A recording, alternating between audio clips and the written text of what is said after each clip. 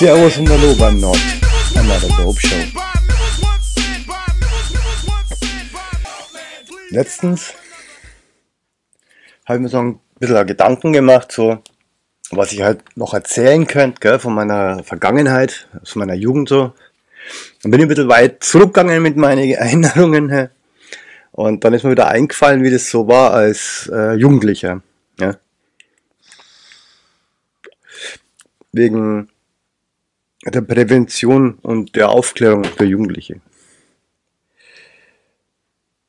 In die 70er, glaube ich, hat es angefangen, dass die ja, Drogen äh, äh, Politiker gefordert haben, dass man halt bessere Aufklärung macht.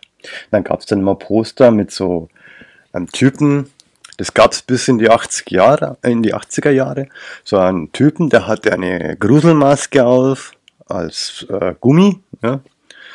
so eine Faschingsmaske und ein Tablett und da lag eine Spritze drauf und ein paar Line Koks und ein Joint und drunter stand, der Dealer ist nicht dein Freund. Das hat mich als Kind schon irritiert. Hm, und die Maske war das Phantom der Oper. Genau, jetzt weiß ich es wieder. Phantom der Oper ähm, aus den 50ern, glaube ich, war der damals mit Bela Lugosi und so weiter. Also solche äh, Schauspielerriege. Und da war halt auch dabei das Phantom der Oper und diese Maske, Hollywood-Maske kann man kaufen. Ne? Ich glaube auch heute noch. Und das war das der Typ mit dem Silbertablett und die Drogen. Und der Dealer ist nicht dein Freund. Verstanden hat das von uns keiner. Und wir hatten auch überhaupt kein Interesse dran. Also Drogen haben uns nicht interessiert. Ab und zu mal Bier, weil wir gar nicht gewusst haben, was Drogen sind. Also Bier und äh, Kaffee, so mit 16 rum. Und dann auch Zigaretten. Ne? Ich habe gegen so einen blöden Mädel habe ich angefangen, weil die geraucht hat. Habe ich auch das Rauchen angefangen. Lang hat's nicht gehalten.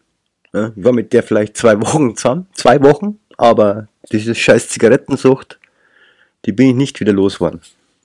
Die habe ich dann äh, ja, vor, vor acht, neun Jahren oder zehn Jahren sowas aufgehört. Habe ich auch schon mal ein Video zu gemacht mit der Nicorette, mit dem Inhaler. Und dann, äh, jetzt habe ich einen Faden verloren. ah ja, wo ich wieder hin wollte. Und damals so mit 16, 14, 16, ja mit 14 hat es angefangen, hat es uns äh, interessiert Pornografie. Ja, da ging das los. Mein Vater hatte Super 8 Filme, die habe ich ihm immer rausstibitzt und bin zu einem Kumpel, der hat einen Projektor gehabt und da haben wir uns solche Filme angeschaut. Die waren äh, ohne Ton, wir hatten keinen Tonprojektor, aber es war halt damals unsere Beschäftigung. Wenn halt Jungs anfangen, sich dafür zu interessieren, dann versuchen sie Pornos zu erwischen. Jetzt ist es aber so, dass in Deutschland ein Gesetz gibt, das es unter Strafe stellt, Minderjährigen unter 18 Jahren harte Pornografie zugänglich zu machen. Jetzt lasst es dir mal ganz tief einsinken. Was unternimmt denn eigentlich die Regierung gegen äh, YouPorn und PornTube und wie das alles heißt? Da ist bloß so eine lächerliche Abfrage, wo, wo du anklicken musst, ob du volljährig bist oder nicht. Das ist schon die Kontrolle. Das war's dann schon. Also man, mir ist es egal. Ne? Ich schaue ja selber gern. Gebe ich auch zu. VR. VR-Pornos sind echt der Wahnsinn. Aber mir geht's jetzt eher darum, dass das so ein Luftnummergesetz ist. An jeden Deutschen, der das machen würde, jemanden, einen Minderjährigen das ermöglichen. Das hat also wirklich mit lächerlichen äh, Altersbeschränkungen, dieser Witz, den Knopf drücken und das war's. Also, äh, keiner kontrolliert das. Glücksspiel, ähnliche Nummer. Ja, das überlässt man den Bundesländer. Glücksspiel, wie man das handhabt. Ob man da ein Casino hat für Volljährige, wo die ja Geld auf den Kopf schmeißen können und womöglich abhängig werden von der äh, Glücksspielsucht, ist auch nicht ohne. Lässt man zu. Man nimmt, unternimmt gar nichts. Also im Fernsehen andauernd Werbung läuft, nur für Schleswig-Holstein, weil es da erlaubt ist. Die anderen Länder, die anderen Leute, hey, was geht denn ab? Ich will das auch haben. Und da kommt dann die Gier. Das will ich auch. Was der hat, will ich auch haben. Was, was soll denn das? Und ich kann es verstehen, hey. Warum darf der in Bayern nicht das gleiche wie, wie die in Schleswig-Holstein? Und warum wirst du in Bayern mit 0,2 Gramm Cannabis, kriegst du da Hausdurchsuchung und in Berlin lassen sie dich bis zu 10 Gramm, nimm es da weg, schreib mal Anzeige und du darfst gehen. Ungleichbehandlung oder nicht?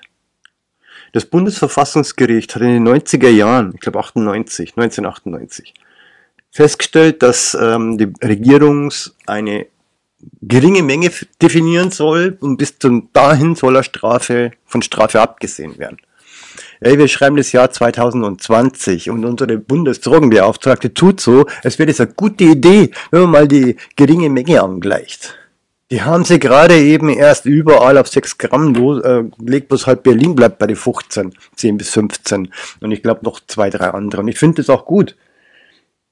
Ey, was soll diese Beschränkung, diese Gängelei? Weißt du?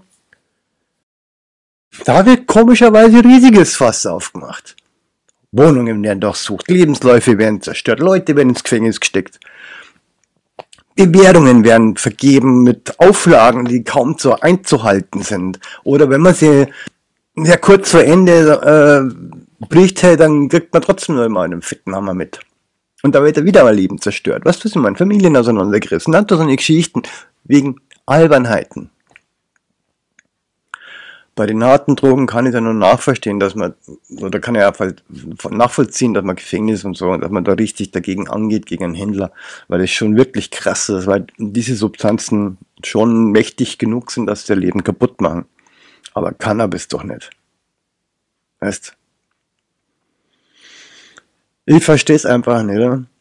wieso man ähm, bei der Pornografie so lasch umgeht und bei dem anderen Ding so ein riesen Drama macht. Hm? Können wir uns da nicht irgendwo bei beiden in der Mitte ein bisschen annähern?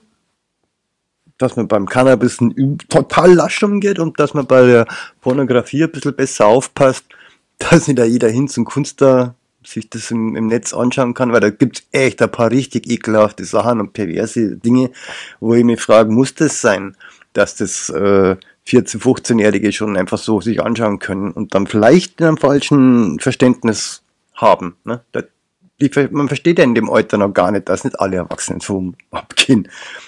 Äh, mit welchem Respekt soll man den Erwachsenen dann noch gegenüberstehen, wenn man sich vorstellt, der lässt sich da einen Arsch versollen mit einem Pferdekopfmaske auf. Kann jeder machen, wie er lustig ist, verstehst? Habe ich kein Problem damit. Auch, auch diese Filme für Erwachsene.